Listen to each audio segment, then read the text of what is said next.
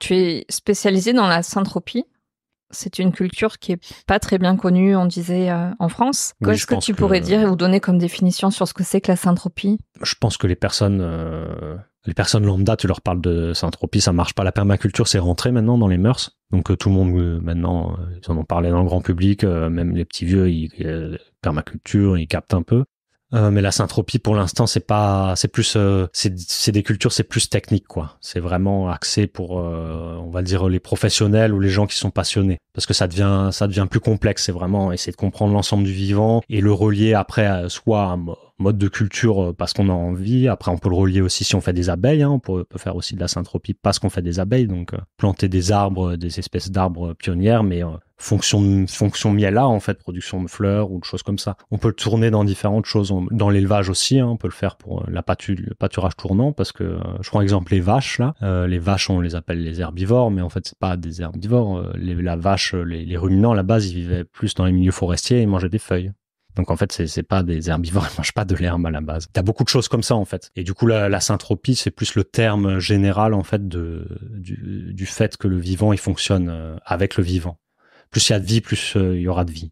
C'est euh, alors qu'au contraire, l'entropie, ça va vers euh, la destruction et la désorganisation d'un système, plutôt que la complexification et la, surorganisation, on va dire, parce qu'après on on comprend, on comprend rien quoi. Il y a trop d'insectes, il y a trop de, il y a trop de champignons. On commence à étudier, à connaître certaines choses, hein, mais je crois qu'on connaît 1% des sols, quoi. C'est, c'est pas grand chose, quoi. Après, le, le, ce qu'il faut comprendre, c'est qu'aujourd'hui, la seule énergie limitée dans tout l'univers, c'est la photosynthèse.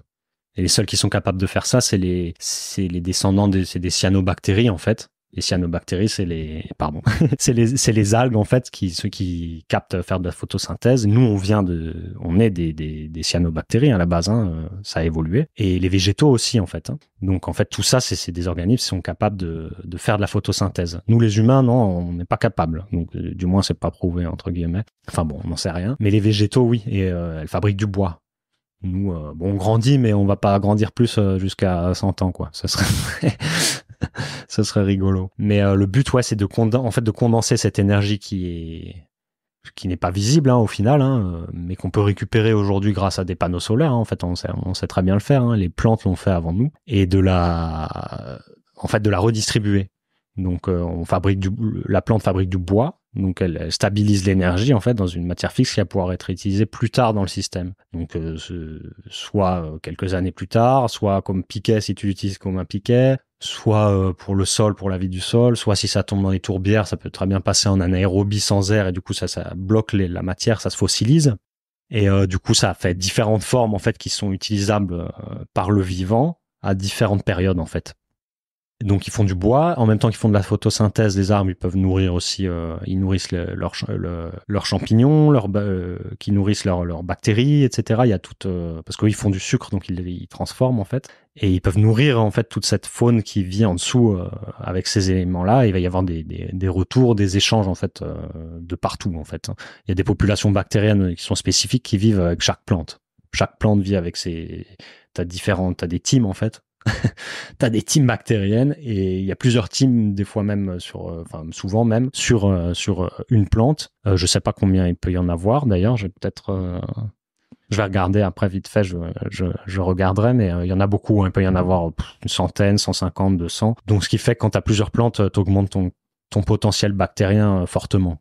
Du coup, tu augmentes la, la capacité en fait euh, des plantes et des bactéries à récupérer des, des, des minéraux, euh, des, des résidus par exemple nocifs de métaux, d'hydrocarbures, de plein de choses, à les stabiliser ou alors à faire des échanges, c'est des, choses positives, hein, du potassium, euh, du manganèse, plein de choses, et à faire les échanges et euh, pour que tout le monde en fait euh, bouffe à sa faim en fait, hein, bouffe à sa faim et, et qu'il y ait un équilibre qui se crée. Et euh, le système est très bien, très bien fait. Le but de la syntropie, c'est euh, justement de, de, d'abonder dans ce système, de récupérer un maximum d'énergie pour le redistribuer. Plus il y a de vie, plus il y en aura. Avec l'énergie, c'est pareil.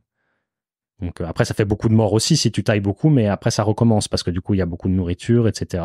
Donc c'est un cercle vertueux et euh, il y a des potentiels dans les zones où il y a beaucoup de d'eau, de précipitation. On a on a des quand même des potentiels qui sont assez euh, assez poussés contrairement à des zones euh, plus sèches où là ça devient compliqué. C'est pour ça que c'est mis en place sur les îles et notamment euh, tout ce qui est Amérique, Australie.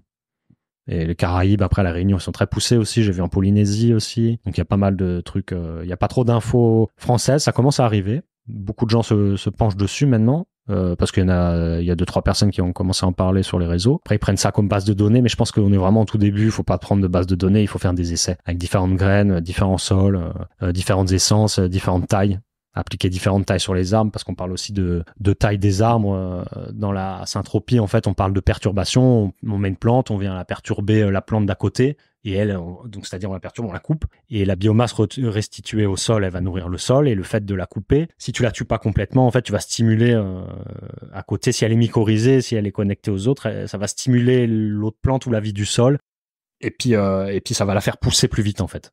Donc ça ça ça, ça, ça stimule on va dire que c'est un stimuli mais aussi il y a des, des phénomènes d'hormones. Donc euh, euh, des acides non c'est des acides ouais. C'est les gibérellines.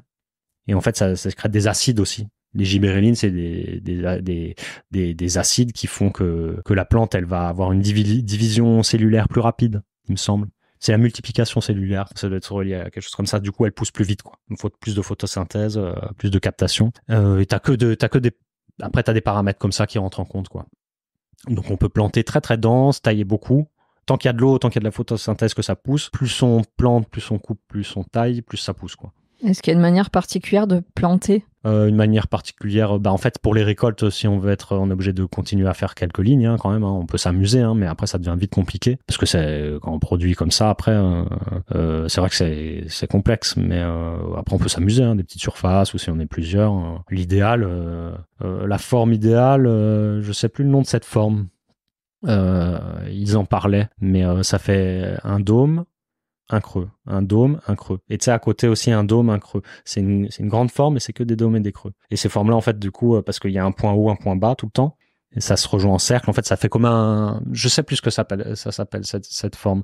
Et puis du coup, ça crée des courants parce qu'il y a une zone qui va être au soleil et une zone qui va être à l'ombre. Donc après, ça va, ça va, ça va faire qu'il y a des courants qui descendent et qui remontent. Donc il va y avoir une circulation d'air permanente, même s'il n'y a pas d'air. Même s'il n'y a pas de circulation d'air, euh, le fait de, de la chaleur va créer des courants d'air. Et, euh, et l'eau aussi, il va y avoir différents l'eau qui coule, l'eau qui stagne. euh. donc euh, il y a des formes comme ça qui sont intéressantes. Mais bon, pour l'instant, en ligne, euh, pour les récoltes, c'est pas mal. On peut quand même densifier en ligne et puis euh, s'amuser un petit peu, faire des essais sur le parcours. Là, je m'amuse un petit peu. Je fais passer dans les lignes, donc c'est un peu compliqué à gérer parce que j'ai les animaux en, en pâturage tournant. Donc après, on peut pas non plus.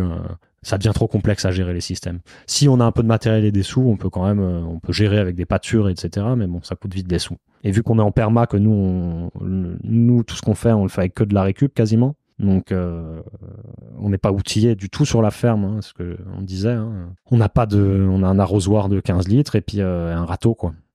Et l'huile de coude. Et l'huile de coude, ouais, j'ai même plus de grelinette, euh, j'ai Mhm. pas d'irrigation, il y a pas, ça, ça se débrouille, quoi. Mais parce qu'on est dans les landes, on a les précipitations et le sol qu'il faut ici.